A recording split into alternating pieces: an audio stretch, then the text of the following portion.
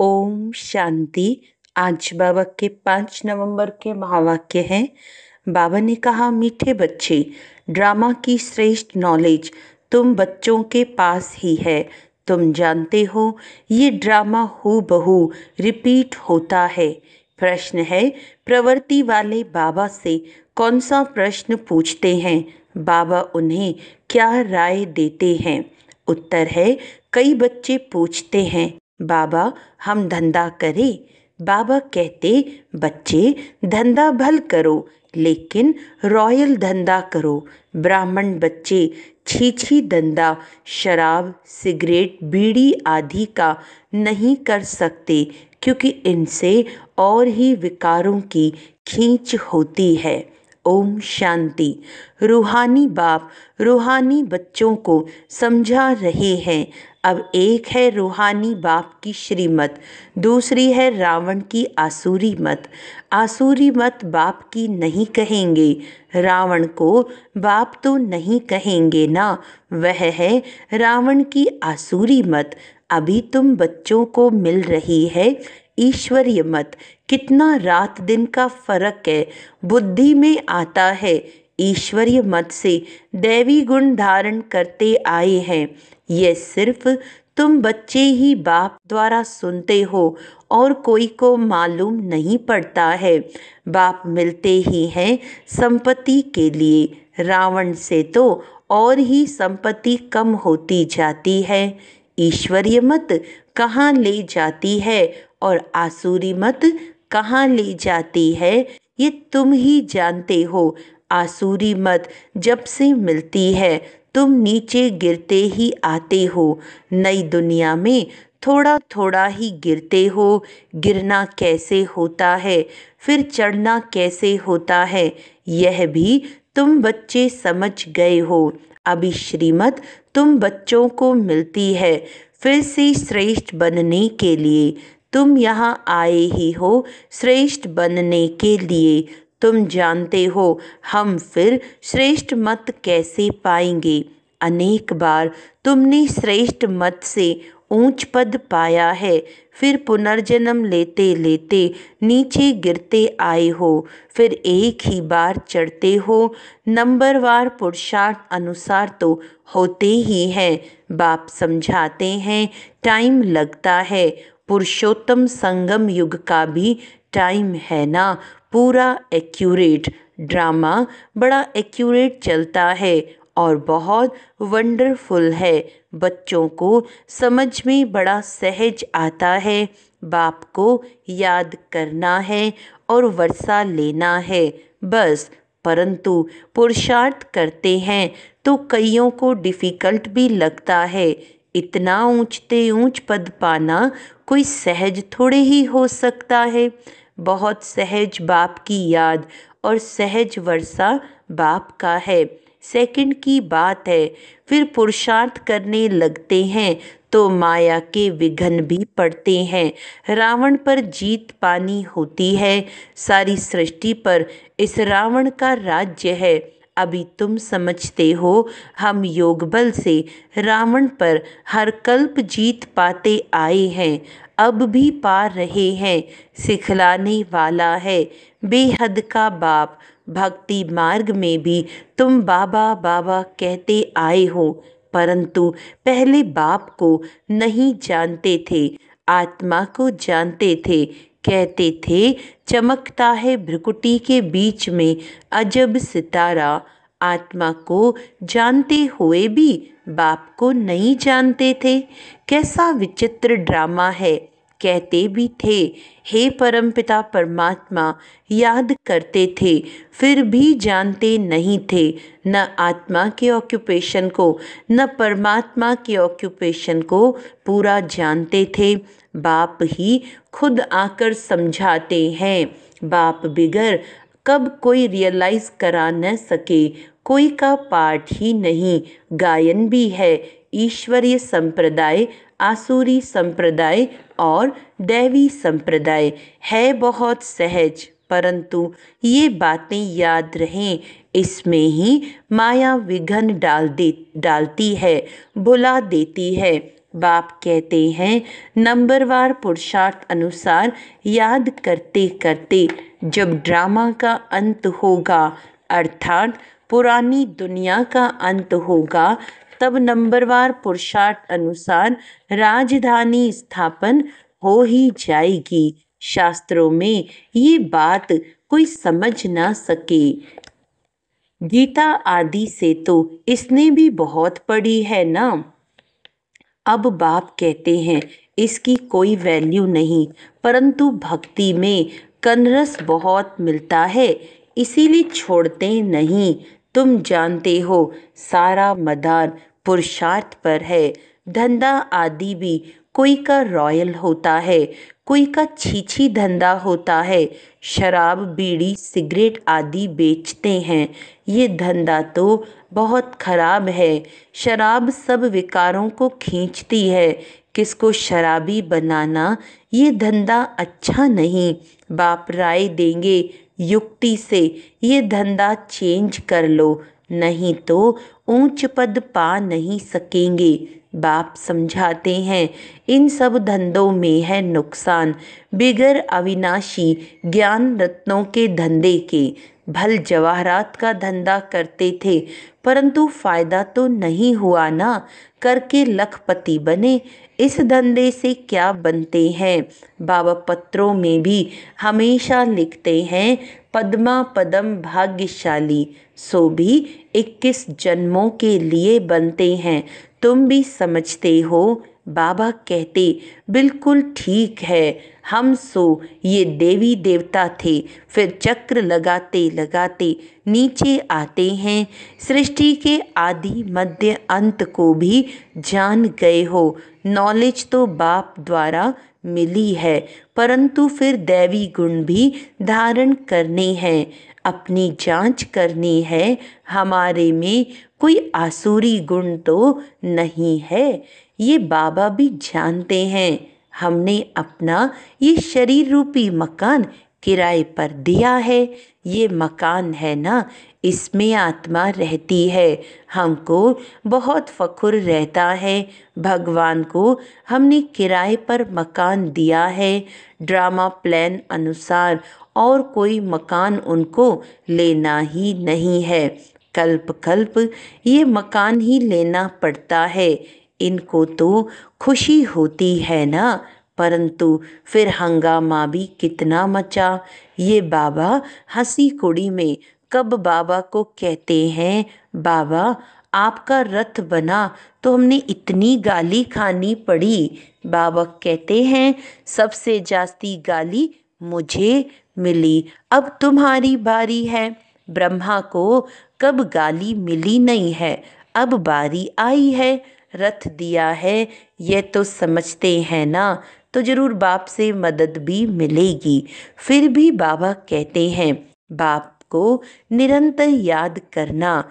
इसमें तुम बच्चे इनसे भी जास्ती तीखे जा सकते हो, क्योंकि इनके ऊपर तो मामला बहुत है।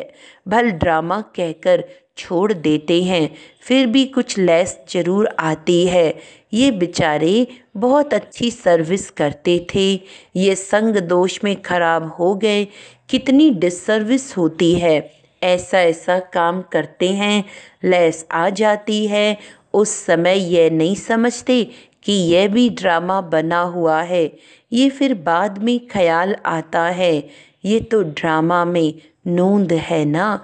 माया अवस्था को बिगाड़ देती है तो बहुत डिसर्विस हो जाती है। कितना अबलाओं आदि पर अत्याचार हो जाते हैं। यहाँ तो खुद के बच्चे ही कितनी डिसर्विस करते हैं। उल्टा सुल्टा बोलने लग पड़ते हैं। अभी तुम बच्चे जानते हो, बाप क्या सुनाते हैं। कोई शास्त्र आदि नहीं सुनाते हैं। अभी हम श्रीमत पर कितना श्रेष्ठ बनते हैं। आसुरी मत से कितना भ्रष्ट बने हैं। टाइम लगता है ना। माया की युद्ध चलती रहेगी। अभी तुम्हारी विजय तो ज़रूर होनी है। ये तुम समझते हो शांति धाम सुख धाम पर हमारी विजय है ही। कल्प कल्प हम विजय पाते आए हैं। इस पुरुषोत्तम संगम युग पर ही स्थापना और विनाश होता है। ये सारी डिटेल तुम बच्चों की बुद्धि में है। बरोबर बाप हमारे द्वारा स्थापना करा रहे हैं, फिर हम ही राज्य करेंगे। बाबा को थैंक्स भी नहीं देंगे। बाप कहते हैं, ये भी ड्रामा में नूंद है। मैं भी इस ड्रामा के अंदर पाठधारी हूँ। ड्रामा में सबका पाठ नूंधा हुआ है। शिव बाबा का भी पाठ है। हमारा भी पाठ है। थैंक्स देने की बात नहीं। शिव बाबा कहते हैं, मैं तुमको श्रीमत दे, रास्ता बताता हूँ, और कोई बता न सके। जो भी आए, बोलो, सतो प्रधान नई दुनिया, स्वर्ग थी ना, इस पुरानी दुनिया को तमो प्रधान कहा जाता है। फिर सतो प्रधान बनने के लिए दैवी गुण धारण करने हैं। बाप को याद करना है। मंत्र ही यह है, मन मना भव मध्याजी भव। बस ये भी बताते हैं, मैं सुप्रीम गुरु हूँ। तुम बच्चे, अभी याद की यात्रा से सारी सृष्टि को सदगति में पहुँचाते हो। जगत गुरु एक शिव बाबा है, जो तुमको भी श्रीमत देते हैं। तुम जानते हो, हर पाँच हज़ार वर्ष बाद हमको ये श्रीमत मिली है। चक्र फिरता रहता है। आज पुरानी दुनिया है, कल नई दुनिया होगी। इस चक्र को समझना भी बहुत सहज है, परंतु यह भी याद रहे, जो कोई को समझा सकें, यह भी भूल जाते हैं। कोई गिरते हैं तो फिर सारा ज्ञान आदि सारा खत्म हो जाता है। कला काया माया ले लेती है। सब कला निकाल कला रहित कर देती है। विकार में ऐसे फंस जाते हैं। बात मत पूछो, अभी तुमको सारा चक्र याद है। तुम जन्म जन्मांतर वैशालय में रहे हो, हज़ारों पाप करते आए हो, सबको आगे कहते हो, सबके आगे कहते हो, जन्म जन्म के हम पापी हैं, हम ही पहले पुण्य आत्मा थे, फिर पाप आत्मा बने, अब फिर पुण्य आत्मा बनते हैं ये तुम बच्चों को नॉलेज मिल रही है। फिर तुम औरों को दे, आप समान बनाते हो। गृहस्थ व्यवहार में रहने से फ़र्क तो रहता है ना। वह इतना नहीं समझा सकते हैं जितना तुम, परंतु सब तो नहीं छोड़ सकते हैं। बाप खुद कहते हैं, गृहस्थ व्यवहार में रहते कमल फूल समान बनना है। सब छोड़कर आवे तो इतने सब बैठेंगे कहाँ? बाप नॉलेजफुल है। वे कुछ भी शास्त्र आदि पढ़ते नहीं। ये शास्त्र आदि पढ़ा था। मेरे लिए तो कहते हैं गॉड फादर इज़ नॉलेजफुल मनुष्य ये भी जानते नहीं हैं कि बाप में क्या नॉलेज है। अभी तुमको सारी सृष्टि के आदि मध्य अंत की नॉलेज है। तुम जानते हो, ये भक्ति मार्ग के शास्त्र भी अनादि हैं। भक्ति मार्ग में ये शास्त्र भी ज़रूर निकलते हैं। कहते हैं, पहाड़ टूट गया, फिर बनेगा कैसे? परंतु ये तो ड्रामा है ना? शास्त्र आदि ये सब खत्म हो जाते हैं, फिर अपने समय पर वही बनते हैं। हम पहले पहले शिव की पूजा करते हैं। यह भी शास्त्रों में होगा ना। शिव की भक्ति कैसी की जाती है? कितने श्लोक आदि गाते हैं? तुम सिर्फ़ याद करते हो, शिव बाबा ज्ञान का सागर है। वह अभी हमको ज्ञान दे रहे हैं। बाप ने तुमको समझाया है। ये सृष्टि का चक्र कैसे फिरता है? शास्त्रों में इतना लंबा चौड़ा गपोड़ा लगा दिया है। जो कभी स्मृति में आ भी न सकें तो बच्चों को अंदर में कितनी खुशी होनी चाहिए? बेहद का बाप हमको पढ़ाते हैं, गाया भी जाता है। Student life is the best.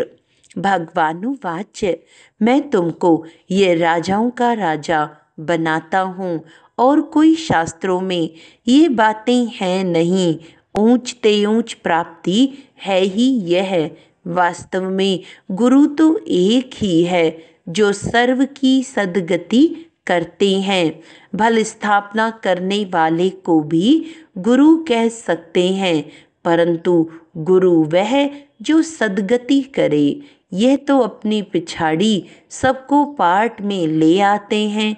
वापस ले जाने के लिए रास्ता तो बताते नहीं। बारात तो शिव की ही गाई हुई है और कोई गुरु की नहीं। मनुष्यों ने फिर शिव और शंकर को मिला दिया है। कहाँ वह सूक्ष्म वतनवासी, कहाँ वह मूल वतनवासी, दोनों एक हों दोनों एक हो कैसे सकते? ये भक्ति मार्ग में लिख दिया है।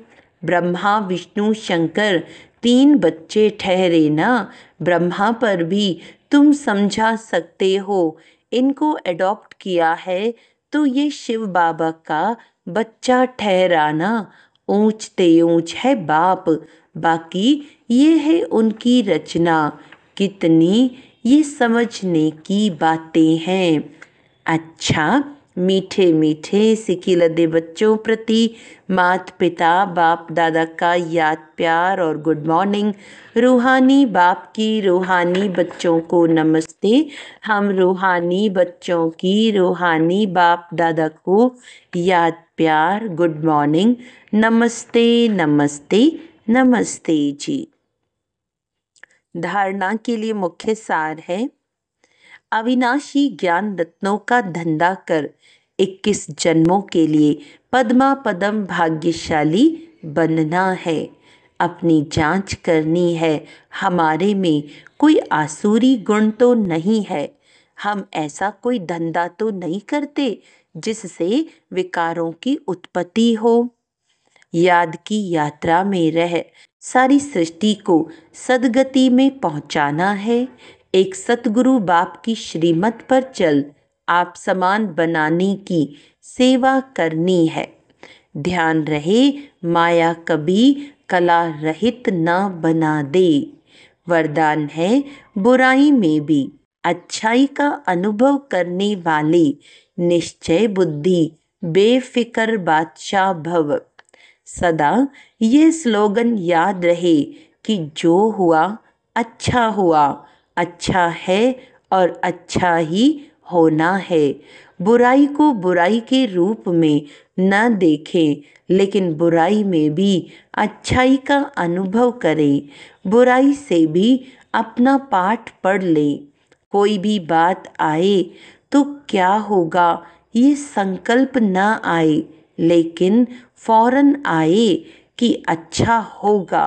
बीत गया अच्छा हुआ। जहाँ अच्छा है, वहाँ सदा बेफिक्र बादशाह हैं। निश्चय बुद्धि का अर्थ ही है बेफिक्र बादशाह। स्लोगन है जो स्वयं को, वे दूसरों को रिगार्ड देते हैं। जो स्वयं को, व दूसरों को रिगार्ड देते हैं, उनका रिकॉर्ड सदा ठीक रहता है। अच्छा आज का अव्यक्त इशारा है, सेवा में, सेवा की सफलता का साधन निर्माणता है। निर्माण बन झुकना, ये कोई छोटा बनना नहीं है, लेकिन सफलता के फल संपन्न बनना है। बुद्धि जो भी निर्णय करे, वह श्रीमत के अनुकूल हो। श्रीमत के सिवाय और कोई बात बुद्धि में न आए।